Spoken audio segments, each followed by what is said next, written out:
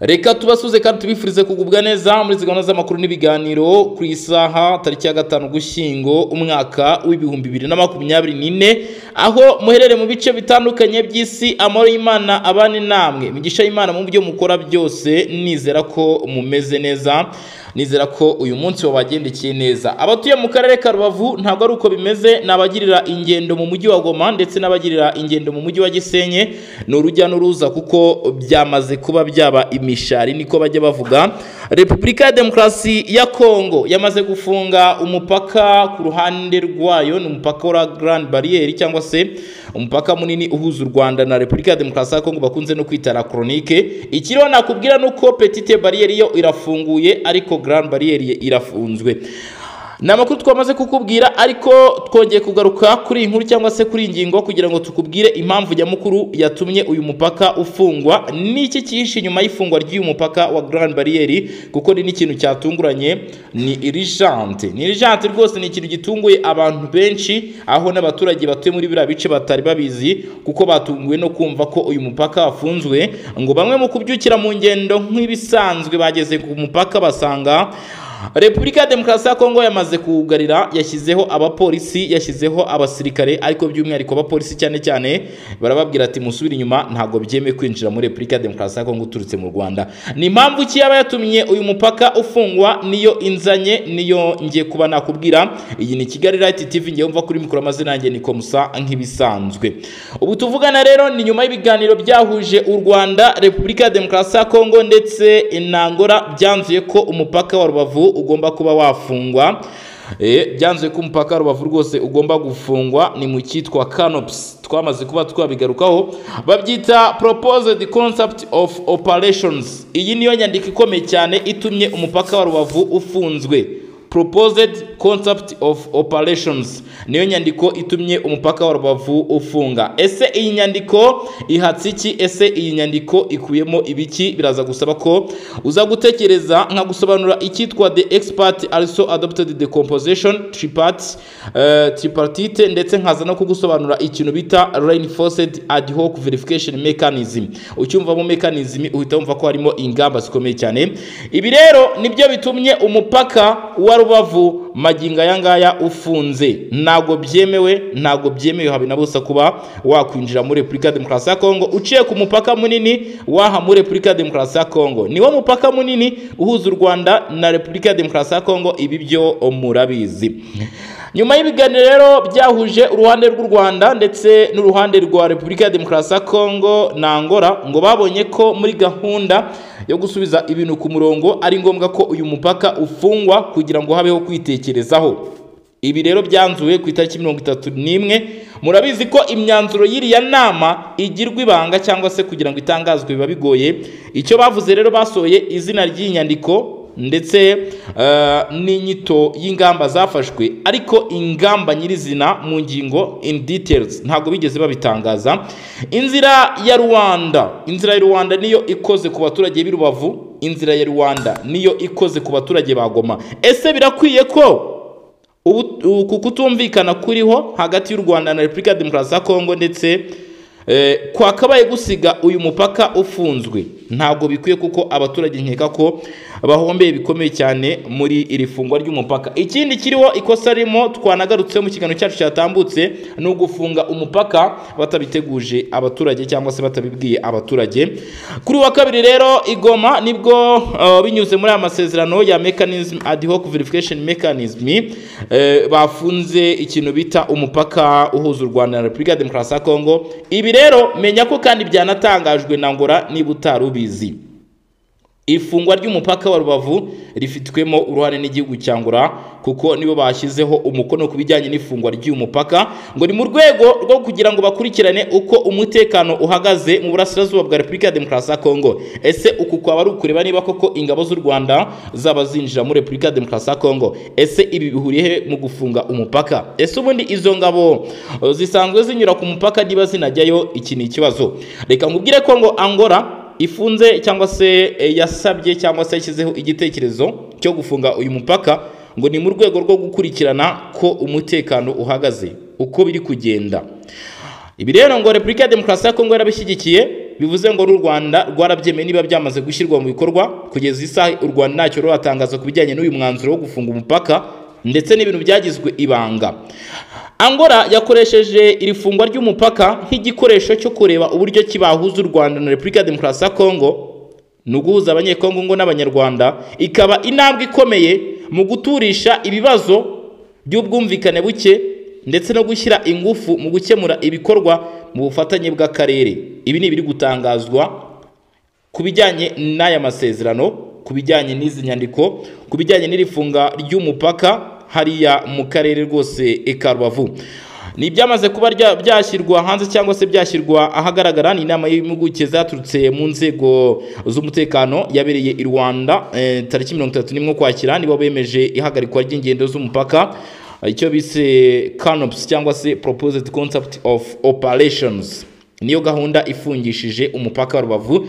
Abantu bari bakomeje kwibaza bati se niki cyaba gitumye repubulika ya demokarasi ya kongo ifunga umupaka?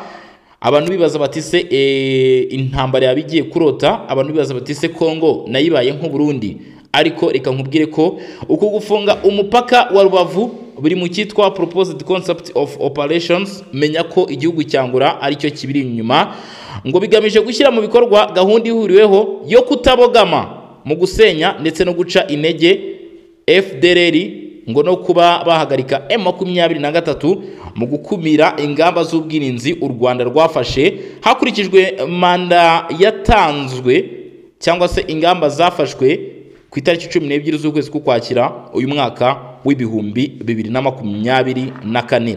Uburyo bwo kugenzura rero ibihugu bitatu ngo harimo ukutabogama harimo kandi kuba repubulika ya demokarasi ya kongo ishinja u rwanda kugaba ibitero hariya yifashije mu kanya na gatatu harimo kuba u rwanda narwo rushinja repubulika ya demokarasi ya kongo gukorana na fdr hagamijwe kugaba ibitero ku rwanda bityo ngo niyo mpamvu hafashwe ingamba zikomeye cyane hagamijwe kwihutisha umutekano. Ni intambwe ikomeye ni intambwe ikomeye aho abaminisitiri bagaragaza ko ari ngombwa ko hasuzumwa ibi bikorwa kugira ngo amahoro n'umutekano byongere kugaruka. Ese rwanda yaba yarashishoje ku kwemera ko u rwanda ndetse na repubulika ya demokarasi ya kongo uyu mupaka ubahuza ufungwa? Ikindi abantu bakwiye kumenya ni uko iyi angora nubwo iba iri hano nk'umuhuza ntabwo iba izi uburyo ki abaturage mu karere ka rubavu abaturage mu mujyi wa goma baba babayeho kugira ngo bafatire umwanzuro. Nkeka ko nubwo wenda baba baramanutse bakaza gukora iperereza ntabwo bazi mu rugo rw'umuturage bigenda bite ntabwo bazi se uyu mupaka. Ni iki umariye abatuye ibice? Gusa ikiriho ni uko ingendo zakoreshwaga cyangwa se urujya n'uruza rwagendaga ahangaha kuri petite. Bariyeri rugiye kongerwa cyangwa se rugiye kwiyongeraho kuko ingendo z'ahangaha kuri koronike zose zimuriwe kuri petite bariyeri ni ukuvuga abava abajya mu buryo ubwo ari bwo bwose abakoresha imodoka ndetse n'abakoresha ibindi binyabiziga muri repubulika ya demokarasi ya kongo no mu rwanda hagati y'ibyo bihugu byombi bagomba gukoresha umupaka wa petite bariyeri n'ubundi ni hariya mu karere ka rubavu. Ariko birumvikana ko hagiye kuba habaho ubucucike urujya n'uruza rugiye kwiyongera bishobora no kuba byateza ikibazo mu idindira ry'ibicuruzwa ndetse n'ibindi. Inama rero yaje guhuza abahagarariye u rwanda ndetse na repubulika ya demokarasi ya kongo na angola niyo yafatiwemo iyi myanzuro. Byari byanzuwe byari byanzuwe cyangwa se byari ku murongo w'ibyigwa ko uyu mupaka wagombaga gufungwa. Menya ko ibi atari ibintu bitunguranye kuko byari bizwi neza ko mu cyitwa kanupusi byari byatangajwe ko ku ngengabihe yabyo ku itariki eshanu ku munsi wa kabiri w'ukwezi kwa cumi na kumwe umupaka ugomba gufungwa. Umupaka ugomba gufungwa. Ni ibintu byari byavuzwe. Ndetse ngo kugira ngo barebe uburyo ki aha mu mujyi wa Goma bagomba kugenzura ibijyanye n'ingamba z'ubwirinzi. Uyu mupaka rero wa Grite cyangwa se Grand Barrier wamaze kuba wafungwa hagati y'u Rwanda na Repubulika ya Demokarasi ya Kongo ni umupaka ufunzwe mu gihe n'ubundi byagiye bikorwa rimwe na rimwe ugasanga bigize ingaruka zikomeye cyane ariko hagafatwa ingamba zo koroshya ikibazo ugasanga n'ubundi ntabwo umupaka ufunguye makumyabiri n'ane ku yandi iminsi irindwi kuri irindwi ariko uko biri hari uburyo ki ingendo zikorwa. Kandi byari bimaze kumenyererwa abantu bari bamaze kubyakira.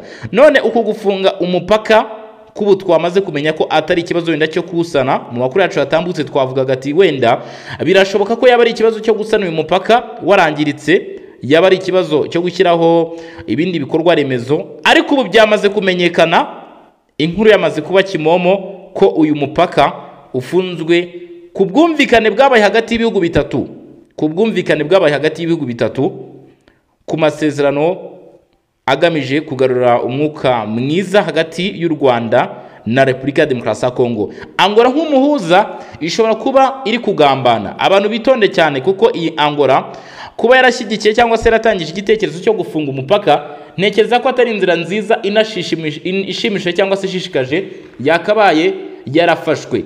Hakabayeho kwitonda hakabayeho kwitonda cyane. Abe ku ruhande rw'u Rwanda abe Repubulika ya Demokarasi ya Kongo ntabwo bigeze batangaza iri fungwa ry'umupaka ngo bateguze abantu. Gusa ikintu nakubwira cyo repubulika ya demokarasi ya kongo yamaze gutangaza ko yari ibizi ko umupaka ugomba gufungwa. N'ibi byose ndi kukubwira nta handi byavuye. Nta handi byavuye kuko teresi kayikwamba wagina yamaze kuba yabigarukaho. Ibitangazamakuru byo muri repubulika ya demokarasi ya kongo byamaze kubigarukaho. Ku ruhande rw'u rwanda nta muyobozi n'umwe uratangaza ibijyanye n'ifungwa ry'iyi mipaka. Binashoboka cyane ko repubulika ya demokarasi ya kongo yaba iri kubeshya yaba iri guhimba. Kuko murabizi ko akenshi izi nama zagiye zikurikirwa n'ibinyoma. Uwitwa patrick muyamuzi ibintu yavuze aho hariya rwose inama iheruka kuberaga ahantu bita muri tanzania avuga ko u rwanda ngo rwashyize hanze amashusho rutabyemerewe nyamara aya mafoto n'amashusho bitari byafashwe kandi n'uruhande rw'u rwanda kandi byakozwe mu buryo bwemewe. Ibi rero ntabwo byatungurana urwo aba ari urugero rutoya ndetse n'izindi ngero nyinshi zigaragaza ko iki gihugu kitari sereye ku bijyanye n'iki kibazo. Ubu tuvugana rero kuri tariki ya gatanu uku kwezi k'ugushyingo umupaka wa Grand urafunzwe ndetse ntabwo higeze hatangazwa igihe uyu mupaka uzafungurirwaho. Ntabwo higeze havugwa igihe ntarengwa uyu mupaka ufunze. Bishobora no kuba byaba igihe kirekire bishoboka ko ku munsi w'ejo twabyuka tugasanga umupaka wafunguwe bishobora kuba icyumweru gitaha bishobora kuba mu kwezi gutaha cyangwa se umwaka utaha cyangwa se bikaba n'igihe kirekire. Kuko kuba hamaze gusohoka amakuru y'ukuri kandi yemeza ko umupaka wafunzwe hakaba hagendeye kuri izi ngamba ntihatangwe igihe ntarengwa. Abantu ntabwo bakwiye kwizera cyangwa se ngo bumve batekanye bavuga bati ejo n'ejo bundi uyu mupaka wafungurwa. Niba ufunzwe mu buryo butateguwe biranashoboka ko waza rwose kuba wafungurwa ariko mu buryo butateguwe. Ariko icy'ingenzi abantu bakwiye kumenya ni ugutangira gutekereza ubundi buryo bwo kubaho. Ndavuga bari bafite ubuzima bushingiye kuri uyu mupaka kuko tayari uyu mupaka wo wamaze gufungwa. Kandi nta gihe ntarengwa cy'igihe uzafungurirwa.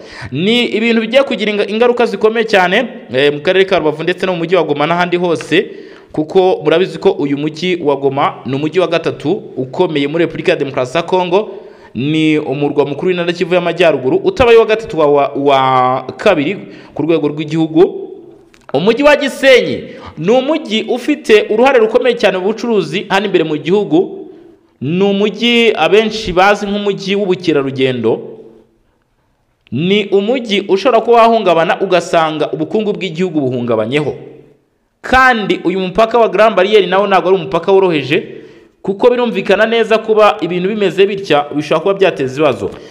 Muri aya makimbirane rero Angola yaje gutekereza cyangwa se yaje kugira igitekerezo ngo cyo gufunga umupaka mu rwego rwo kugenzura bihagije. Ibijyanye n'ibiri kuvugwa hagati y'impande zombi kugira ngo barebe uburyo ki bwo gukemura cyangwa se bwo guhangana n'ikibazo cy'ubwumvikane buke buri hagati y'u Rwanda na Repubulika ya Demokarasi ya Kongo mu bindi biri ku murongo w'ibyigwa ugomba kuba wamenya ikintu cya mbere cyari gihari ni ugufunga uyu mupaka.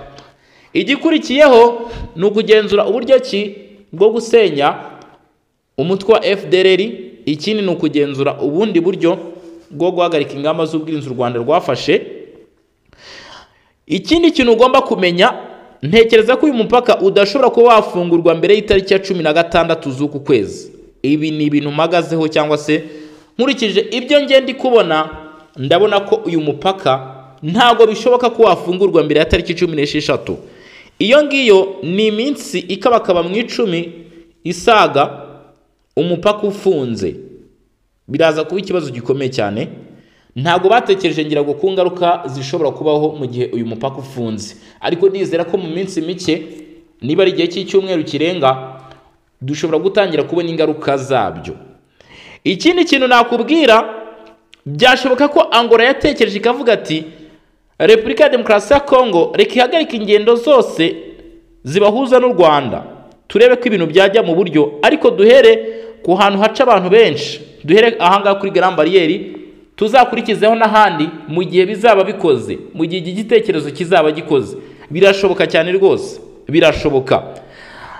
Ku murongo w'ibyigwa rero muri iyi nama bemeje ko bazongera guhura cyangwa se iteganyagihe ingengabihe yabo iragaragaza ko tariki cumi n'eshatu z'uku kwezi ari bwo bazongera guhura. Ari naho nshingira mvuga nti niba ari bwo bazongera guhura mu nama yabanje bakaba bari bavuze ko ku itariki eshanu ni inama yabaye ku itariki mirongo itatu n'umwe z'ukwezi gushize bakaba baravuze ko kuri izi tariki eshanu bagomba gufunga umupaka kuri wa kabiri bikaba byakozwe bivuze ngo hari igihe cyo gusuzuma ngo barebe bagomba kureba izo ngamba bafashe ni izihe ngaruka byagize.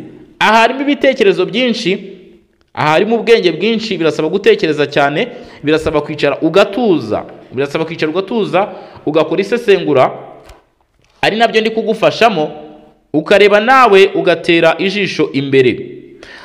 Ni ukuvuga ngo kugeza uyu munsi hari icyitwa tripatite ni ibyashyizweho ni nk'igitekerezo cyangwa se ni nk'ikintu cyatekerejwe n'izi mpuguke twazita impuguke z'u rwanda angola ndetse na repubulika ya demokarasi ya kongo ku bufatanye rwose mu guhashya iki kibazo. Nicyo bita foreign affairs.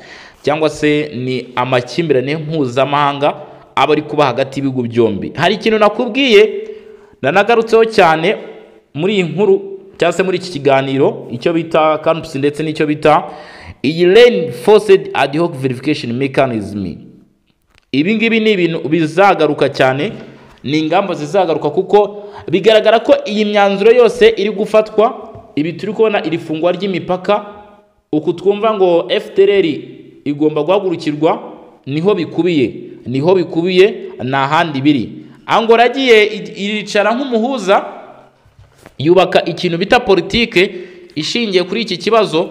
Ni politike y'igihe kirekire nk'uko bigaragara ni politike kandi ikomeye ni ingamba zikakaye mu kurangiza ubwumvikane buke buri hagati y'u rwanda ndetse na repubulika ya demokarasi ya kongo kuko ntekereza ko gufunga umupaka buri umwe wese arabyumva. Arabyumva ko atari ikintu cyoroshye. Gufunga umupaka gufunga uyu mupaka ntabwo ari ibintu bigarukiye aho ngaho gusa ntabwo ari ibintu bije byituraho ntabwo ari ibintu byije byitura aho ngaho. Hari ibindi biri inyuma yabyo hari ibyayibanjije ari byo biganiro twagiye tubona. Kandi abantu bagomba kumenya ko iri ni cyo bita ni ibimburiro. Ni intangiriro z'ingamba zigomba gufatwa kugira ngo ikibazo kiri hagati y'u rwanda na kongo kibashe kuba cyabonerwa umuti. Ariko ntekereza ko harimo kwibeshya cyane gufunga uyu mupaka harimo kuba batekereje rwose nabi gufunga umupaka byo ntabwo byari bikwiye. Hakabayeho ko batekereza kabiri kuko uruhande rw'abaturage ruraza gushegeshwa n'izi ngamba zafashwe biraza kuba ikibazo. Ibiganiro bya rwanda ku nshuro ya mbere bafashe imyanzuro yo gushyiraho agahenge k'imirwano. Imirwano igahagarara. Ku nshuro ya kabiri tubonye ko bafashe ingamba zo gufunga umupaka. Turaza kwibaza ati se nyuma y'ibi byose niki kiza gukurikiraho? Nyuma y'ibi byose niki kiza gukurikiraho? Niki tuza kubona? Ese izo ngamba zose zihatse iki? Ese bihuriye he? Bihuriye he n'umwuka mubi uri kurangwa hagati y'u rwanda na repubulika ya demokarasi ya kongo? Bihuriye he n'ubu bwumvikane buke? Kuko ibyo byose ngo biri kuba kugira ngo bategure inzira yo gusubiza ibintu mu buryo. Nyamara ikibazo nta kindi. Ikibazo ni fdr ku ruhande rw'u rwanda ku ruhande rwa kongo ngo ikibazo ni ingamba z'ubwirinzi zafashe u rwanda rwafashe cyangwa se zafashwe ngo bavuga ko zishobora kuba zifite aho zihuriye n'umutwe wa ma makumyabiri na gatatu uri kubarizwa ahangaha mu mashyamba yo mu burasirazuba bwa repubulika ya demokarasi ya kongo imidugudu ikabakaba ijana na mirongo yarafashwe muri teritwari zigera kuri eshanu. Kimwe mu bintu repubulika ya demokarasi ya kongo ivuga ko byakabaye bihagarikwa byakabaye bikumirwa.